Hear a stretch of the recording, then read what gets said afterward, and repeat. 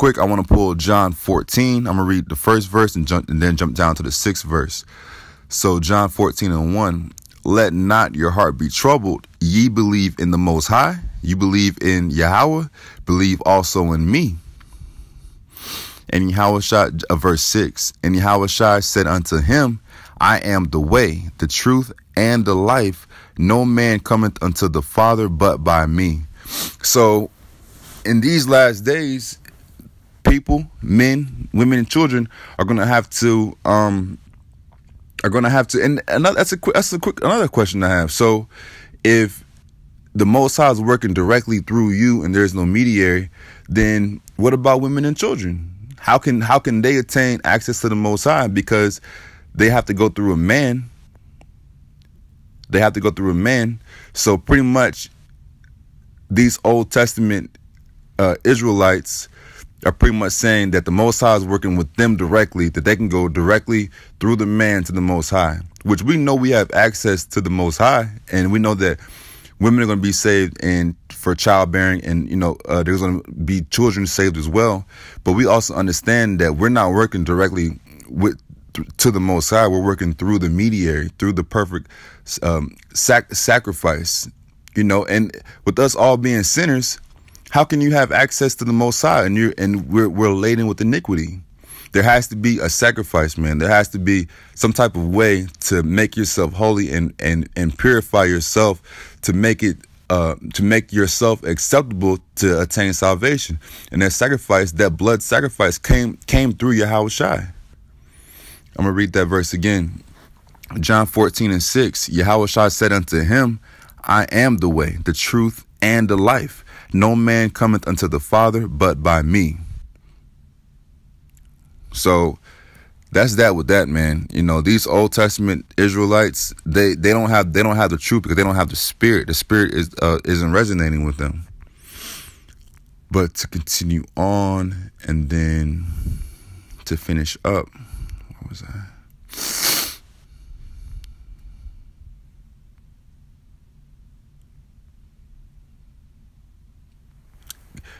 So I'm gonna start up a little bit and then read back down. Matthew 25 and 17. And likewise, he that had received two, he also gained other two. But he that had received one went and digged in the earth and hid his Lord's money.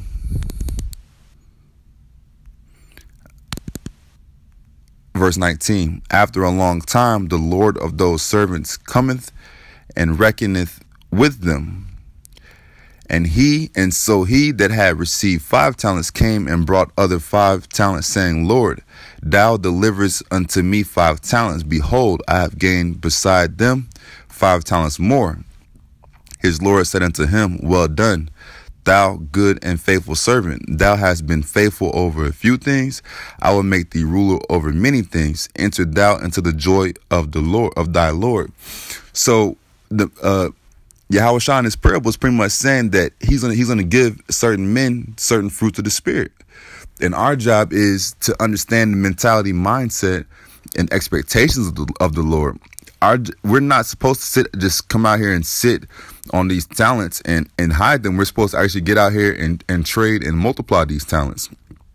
Like you have to you have to understand the mentality of our Lord. Our Lord, He wants production, man. You know, um, once again, or if I didn't get into it, if I didn't say it, um, definition of Lord, someone or something having power, authority, or influence, a master or ruler. So Yahweh Shai is going to establish his kingdom on this earth. So even though he, even though the hand, even though the earth is given to the hand of the wicked for a short or short time, uh, at the end of the day, this is still Yahweh Shai's kingdom. The earth is still Yahweh Shai's kingdom.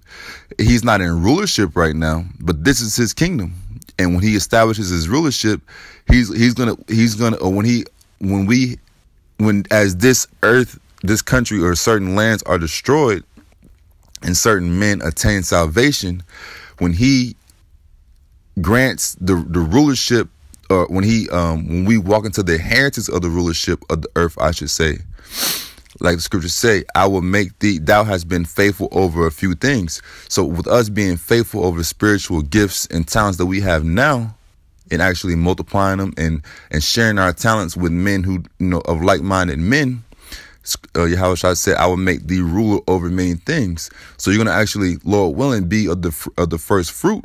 You're going to actually be able to um, be a ruler um, in the kingdom, you know, and actually be a, a part of that uh, initial governing body set up to rule in the kingdom that's established on earth.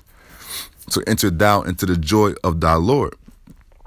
Um, that joint um, joint rulership or joint inheritance, I should say. Verse 22 He also that had received two talents came and said, Lord, thou deliverest unto me two talents. Behold, I have gained two other talents beside them. His Lord said unto him, Well done, good and faithful servant. Thou hast been faithful over a few things. I will make thee ruler over many things. Enter thou into the joy of thy Lord. And that's another thing that you have to be mindful of and cognizant of as well is that it, it really doesn't matter how many, if you come in and you're super deep or, you know, you have a, a, a super high level of understanding, or you just come in and you're, you know, you're kind of, you need a lot of building up in the spirit, you know, so to speak.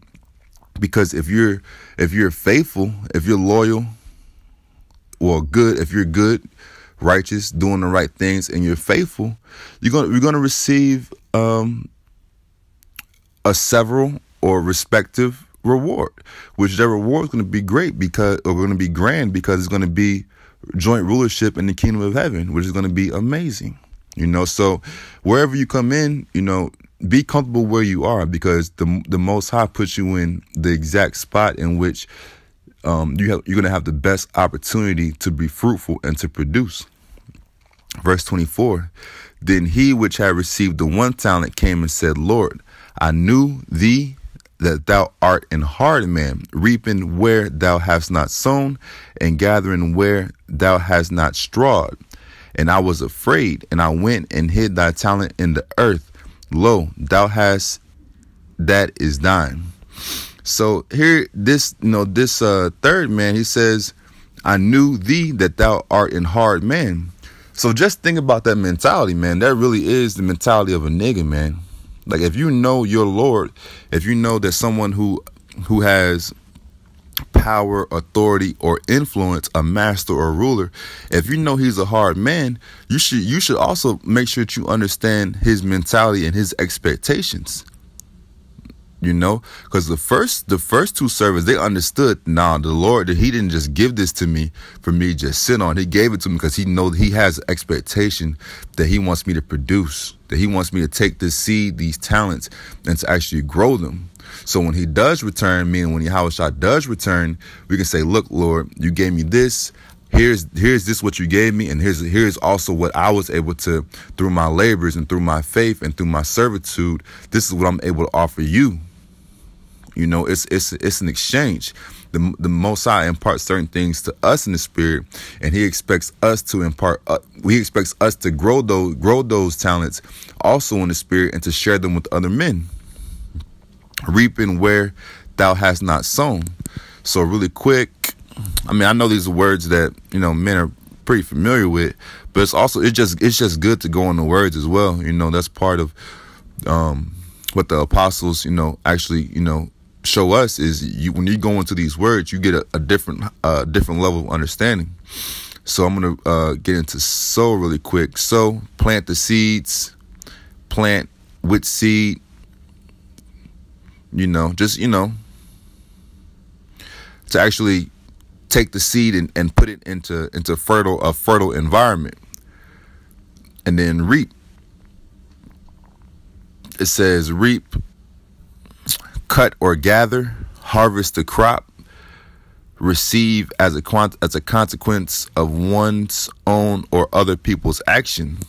So here's this guy says I knew that thou art an hard man, reaping where thou hast not sown. So here it is. Here's the mind of a nigga, man. You know the you know your Lord is a hard man. You know that he reaps or harvests where he hasn't sown, where he hasn't planted seed.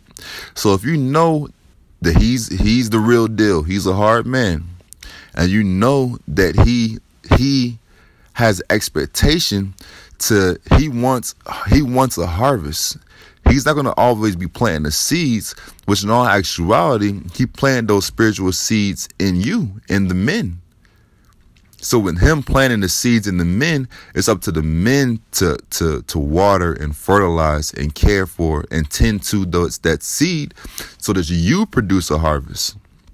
And gathering where thou hast not strawed, and I was afraid. See, and that's a that's a spirit. That's a spirit of uh, fear, of doubt. And I was afraid and went and hid thy talent in the earth. Lo, there thou hast that is thine. So you didn't do anything. All you did was took what the what the spirit what your Lord Yahweh Shai gave you, and you just hid it. But but once again, what's the expectation of our Lord Yahweh Shai? The expectation of our Lord is that he's going to be able to reap where he hasn't sown. So what do you expect the Lord to do? Verse 26 his Lord answered and said unto him, Thou wicked and slothful servant, thou knewest, so you knew this, thou knewest that I reap where I sow not, and gather where I have not straw. So you knew the Lord's expectations, man. You don't have an excuse.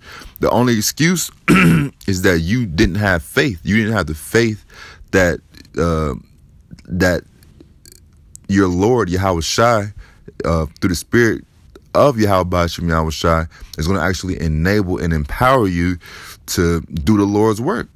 You had doubt. And you let that you let that doubt um suck away your ability to actually meet the expectations of your Lord, Yahweh Shai. Verse 27, thou oughtest therefore to have put my money to the exchanger. So this is the Lord saying what you should have done. You should have put his money to the exchangers, to the brethren. I'm just gonna, you know, not to add the scripture, I'm just gonna, you know, go into that to the brethren, man. We out here exchanging spiritual talents. One man might have a certain talent on understanding economics. Another man might have a talent on understanding health and wellness. Another man might have a talent of just charity and being charitable. You got to come out here and you got to exchange these talents, man, because that's the way these these spiritual talents or these spiritual gifts are magnified you know, are, it's like you are multiplied. And the more that, the more of the talents that each man has uh, individually, the the bigger and better and stronger the body. Thou oughtest therefore to have put my put my money to the exchangers, and then at my coming, I should have received mine own with usury, and usury is interest because that's what that's what the Lord Yahweh he expects. He expects through the spirit that he's placed in his men for his men to take those talents and to grow them. You know? And I'm actually gonna stop there because I didn't I really don't want this lesson to go on too long. So once again, the Lord, He expects production, man. Like, yeah, you're gonna face obstacles, you're gonna face difficulties, you're gonna face hardships. You, there's gonna be a lot that comes your way, but at the end of the day, there is no excuse because as we went into um in Corinthians, you have the the mo with with the Most High through Yahweh Shai, Yahweh Shem Yahweh Shai, instilling those talents, uh, those spiritual gifts in you. He's also made it so if you have faith in the Most High through Yahweh Shai, that you have the ability to overcome all obstacles because He hasn't put on you more than you can actually bear in the spirit or in the flesh. So with that, I'm gonna end off by saying, "Call hello, all Yahweh Shem Yahweh Shai, all praises unto the Most High, the Most High Yahweh, in the name of the Lord and Savior, nation of Israel, Yahweh Shai." Double honors to the apostles and elders of Great Millstone who lead, teach, and rule well. Honors, love to you, faithful Akim, pushing the word in faith and sincerity across the four corners. Lord willing, you were edified. Until next time, Shalom.